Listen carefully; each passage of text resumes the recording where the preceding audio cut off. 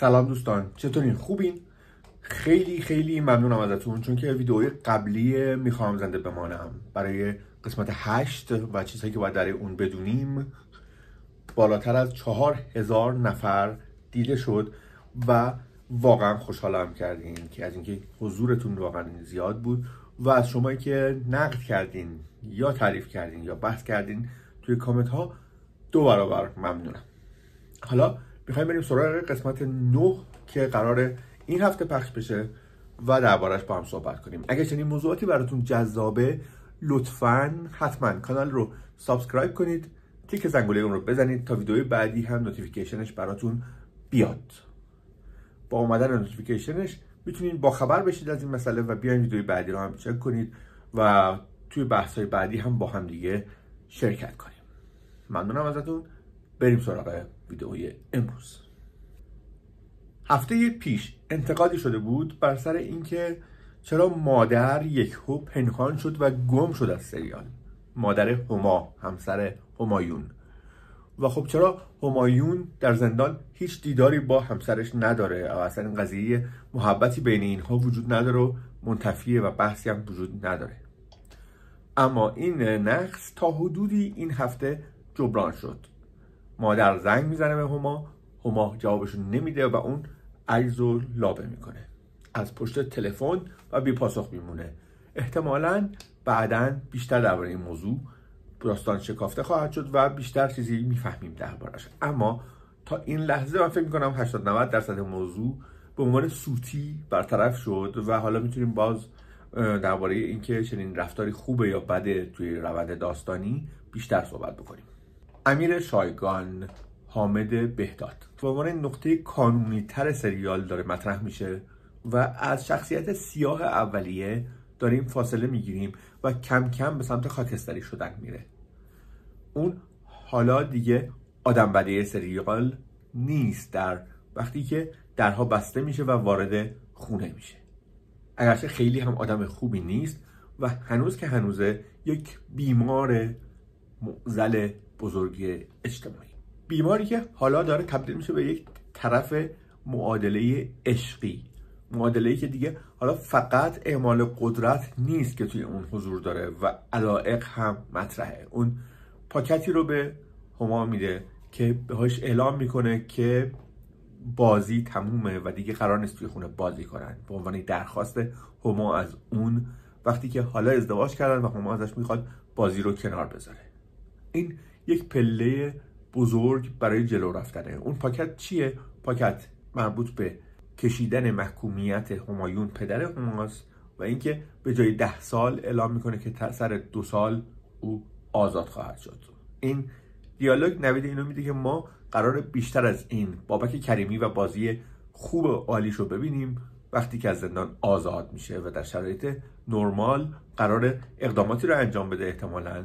که داستان رو چند قسمتی به پیش ببره اما غیبت نادر و همایون در روند داستان می‌تونه خودش این شک رو ایجاد کنه که به طور موازی داره اتفاقاتی میفته که ما به زودی از اون مطلع خواهیم شد. آیا نقشه ای بین اون دوتا بر اساس توافقی که در سلول کردن هنوز در جریانه؟ هیچ بعید نیست که به زودی برگ برنده ای رو از طرف خودشون رو کنن و کل ماجرای این بر گرفتار بشه و هیچ باز بعید نیست که هما در اون زمان بچه ای از امیر شایگان در دل داشته باشه یا مهر اون به دلش نشسته باشه.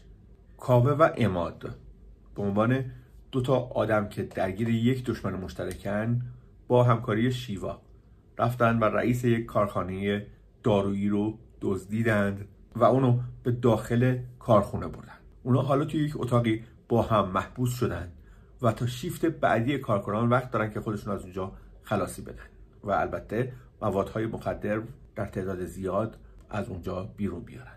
شیوا هم که حالا معلوم شده که چرا از پیرمردهایی که سکته می‌کنند دوری می‌کنه توی بیمارستان و می‌کرد و مشکلاتی که در بیمارستان پیش اومده بود حالا درگیر انتقام شخصی از رئیس کارخونه چون پولهای پدرش رو بالا کشیده و به نوعی میراث خودش رو می‌خواد و طلب می‌کنه. به اضافه یک انتقام شخصی از اون آدم. اما عملیاتشون اونقدر ناشیانه بوده که هیچ بعید نیست همگی با هم به زودی گرفتار بشن. انتقامگیری از دارندگان ثروت برخورد با کسب و کارهای موفق.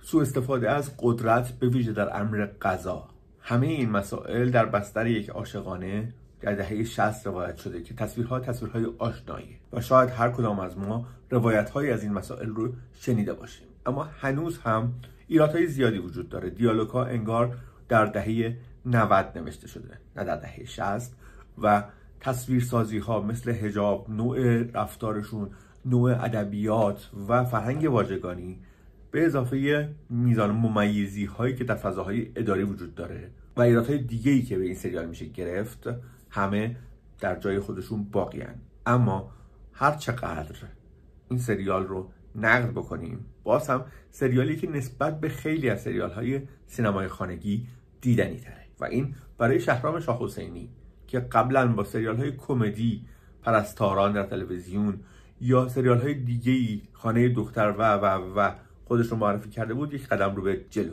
برای حامد بهدادی که برندش به شدت در سریال دل آسیب دیده بود هم قدم رو به جلوه اما برای سحر دولتشاهی که با قورباغه مطرح شده بود چندان اعتباری به دست نمیاره. صدای همایون شجریان هم خیلی نتونسته تا اینجا در روند موفقیت سریال موفق عمل کنه. همه این نکات در مجموع سریالی رو درست کرده و ایجاد کرده و داره پخش میشه که من شخصا توی کانال می‌تونم توصیه کنم که اگر به چنین موضوعاتی علاقه دارید با کمی آسونگیری بشینیم و نگاه کنیم سریال رو. سریال ارزش پیگیری داره به عنوان یک سرگرمی ملایم. اما این اختیارش به هر حال با شماست. و اگه سریال دیگه رو می‌شناسین که از این بهتره در حال حاضر لطفا برام کامنت بذارید و نظرتون رو بنویسید. من از نظریاتی که هفته پیش شما دادید خیلی خیلی خیلی استفاده کردم و واقعا میگم در بهتر شدن دیدم نسبت به سریال مهم بود. به خاطر ازتون خواهش می‌کنم اگر کانال رو subscribe کردید و تیک زنگولش رو زدید با لایک کردن ویدیو یا نوشتن کامنت نظر خودتون درباره این ویدیو یا سریال می‌خوام زنده بمانم منو کمک کنید. تا ویدیوی بعدی خدافظ